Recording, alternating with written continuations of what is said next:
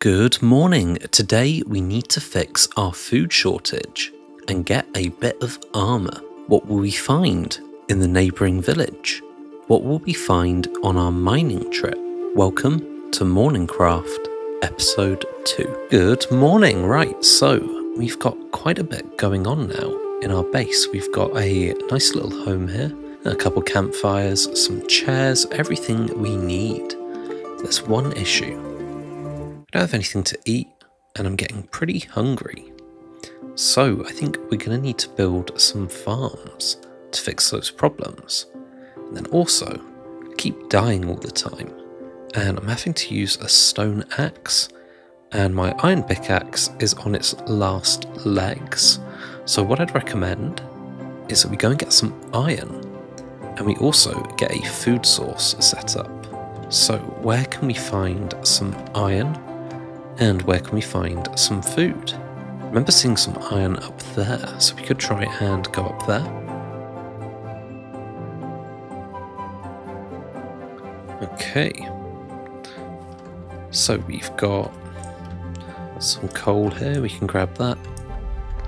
There we go. And then we got some iron here. And I'm gonna have to boost our boost our gamma in the edit so you guys can see this. We got some iron here. We've got some dripstone, which is always pretty useful. Okay, so let's make our way down here slowly. We've got some copper, which could be useful if we want to make some more copper trapdoors. Some more iron here. We've got even more. Down here we've got just some glow lichen. We do have a bit more iron up here. Let's grab that.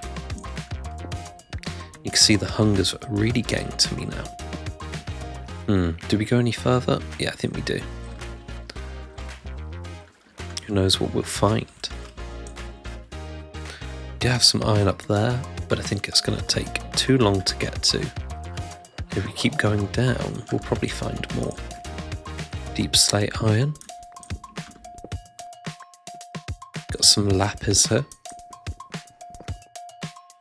Okay, and I think I've got a little bit too greedy, so I'm going to head back and get to work on making a suit of armor and maybe some farms as well. Oh, there it is. Okay, right. So we break the lantern, put down our furnace, put down our lantern on top, then if we grab half of our coal, chuck it in there, close the door. Okay, we should be able to get a suit of armour in no time. Let's put away our lapis. Definitely going to need a new pickaxe. Hmm. Let's move this. Uh, that can go there. And the lantern can go oh, on top of that. And then we move these heads. Uh, those can go there, there. And I think we have skeleton head. There we go. Cool.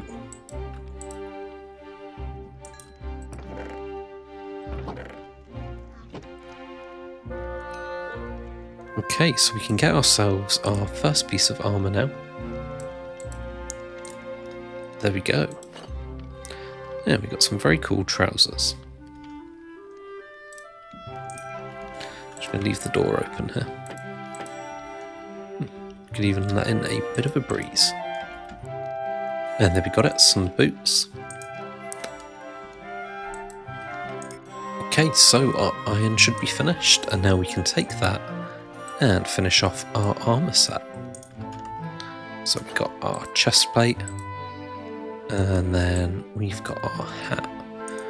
I haven't used a chest plate in so long because I've been used to having the elytra. Okay, let's get some sticks, like so. And there we go. A new pick and a new axe. And we'll make a sword, why not? And since we're going to be doing some farming, we may as well make a hoe. Uh, there we go. Cool. Uh, okay. Good morning, all. Thanks to the hard efforts of the dog and the Woodwright family, we are all housed and warm. But we're going to be in trouble if we don't get some food soon. Dog, take Harold Fielding here to Ensgate. He was a farmer before the heap. He can assist you in finding us something to grow. Okay, now food is getting really, really low. We're on half a hunger bar. So let's grab some fields here. And we might have to use bone meal for this. Let's get some wheat, wheat planted. There we go. And if we grab some bone meal, we can hopefully grow a couple pieces of wheat before we perish. I think that's all we've got budget for with the bone meal. Alright, come on Harold, let's go. I gotta say, you look pretty under-equipped for this. Uh, we've got some more seeds, I guess we'll plant those down. Uh, why not?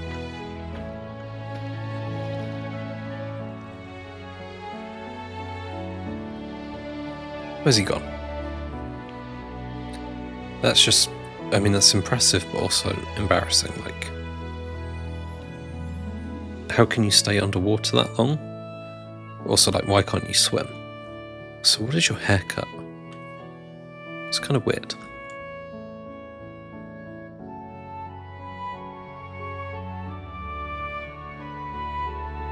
Are you following Harold? Yeah, okay.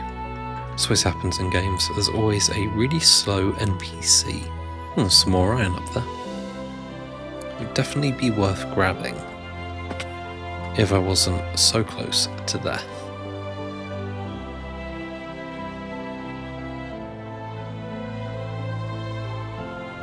Come on, Harold. Okay, so what have we got in this village? Got some chickens, okay. Oh, we've got some more pigs. We've also got some wheat over here and beetroot. So if we grab the wheat and grab the carrots. Uh, have we got some of the beetroot yet? Okay, now we do. Can plant down some seeds. Grab a few more carrots. I don't know if they're all done yet. Oh, potatoes. We don't want to miss out on those. And we do also have some sugarcane.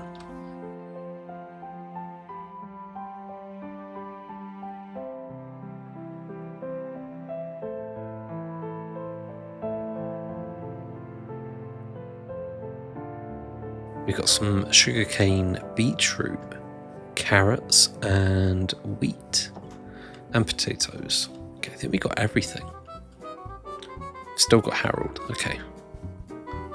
That's the most important part. Some weird guy on the hill as well. We could take out the golem, but I think they need him more than we do. Got chickens over here. And a bell. We could take the bell. I think they need it. Okay, so now we can head home with a bit more food and some hope of creating some farms. Uh, we can't really go across water with this guy because he's not, not as smart as he should be. Okay. Just gonna see how far we can go before he gives up. Not too sure his wife would be happy, but Maybe she would. Where's he gone? There he is. Far from the quiet hills of Thaldrim sits the capital of the kingdom. In this room, the council gathers to discuss the war effort, but the king is preoccupied with finding the dog that once ruled before him. Welcome all to the council meeting. We have a number of matters to discuss, namely the maintenance cost of the fleet, I propose an adjustment of 2.3% over the next six months to accommodate the plan to weave Manastrand into the sails. The Mage College ensures us that this will yield... While I appreciate the Treasury's hard work, I must ask, has there been any update on the people of the Heap? We've not heard a single thing from our previous king. There has been no news, but that is good in some sense. We could table a discussion of this in a few weeks' time. Such a matter falls low on our list of priorities. I'll shake up the fleet's training locations, see if we can cover some ground. and I'll personally offer a reward to any of our crew that spot anything. We'll find 'em chappy. Hey, and we're back. And we got a ton of stuff we can turn into a farm. Okay, so if I finish growing these, uh, we can plant down a few more wheat seeds. Where's he gone?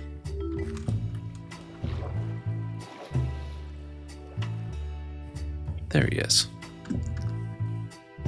Okay, so uh, we've run out of uh, run out of hoe in the wooden hoe. We've also run out of wheat seeds, so let's get some carrots down. Okay, and then maybe the potatoes next. Mm, there we go. And then I may as well do pumpkins as well. Pumpkin seeds. Plant those there. And there. Did I just hear a phantom? Oh, I did. My least favourite part of the game.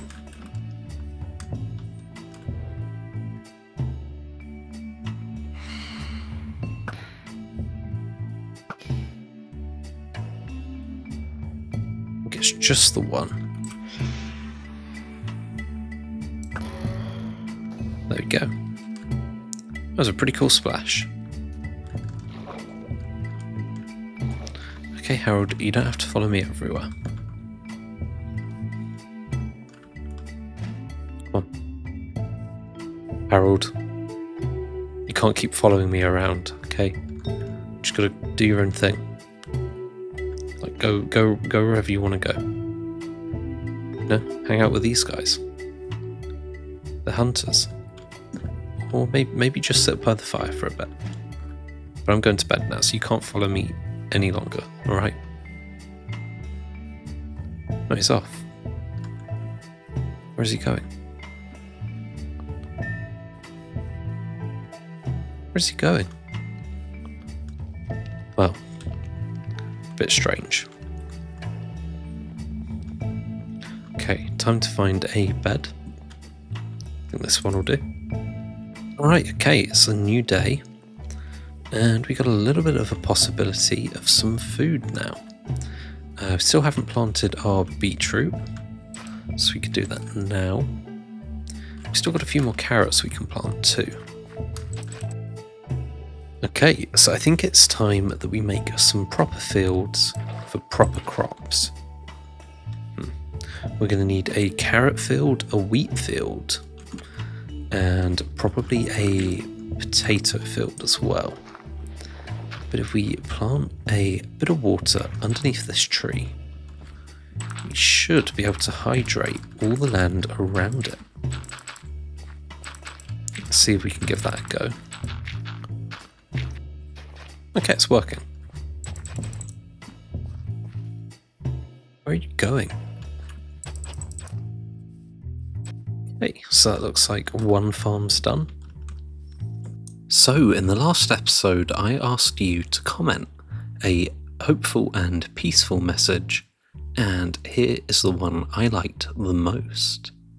Same applies for this episode, so see what you can come up with and pop it in the comments down below. So I then began construction on our farms. I built this carrot farm next to the spruce trees and the campfire. I then got pestered by a wandering trader and stole his llamas. And then I got to work constructing our first wheat field. I had to make a couple buckets to get this done, and I trimmed it with some cobblestone walls, and on the upper section I'm going to have a beetroot farm. I then cut a lovely path down the middle of it, ready to connect to a bridge. I then put the bridge in place next to our waterfall, and then neatened up the coastline with some cobble. I had to trample a lot of soil to get the dirt back to normal, and then I added a bunch of details onto the bridge to make it a little bit better looking. To add a few more later, it's just some trapdoors for now.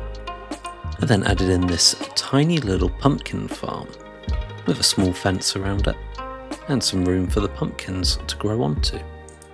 And then I took some time to fill in our carrot farm.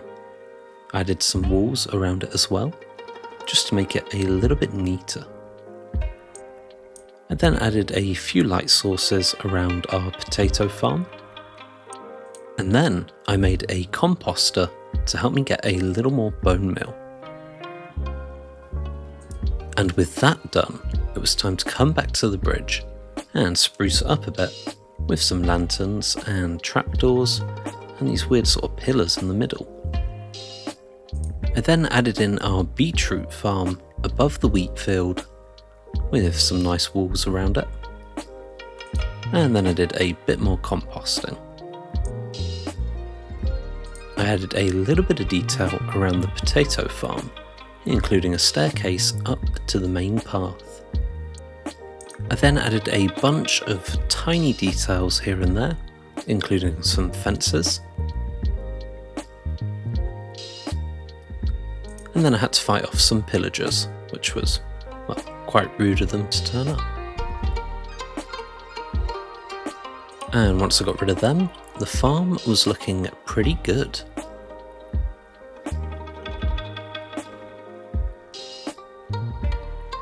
And I finished it off by automating the composter. I used a couple hoppers, and now it's automatic.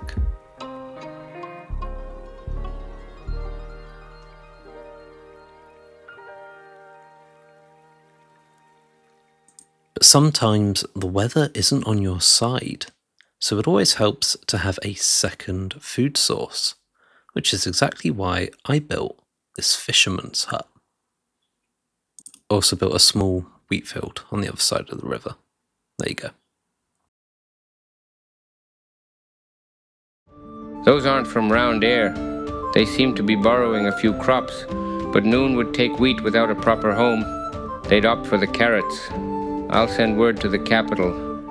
Seems like we have neighbors. And finally, our new home has a reliable food source.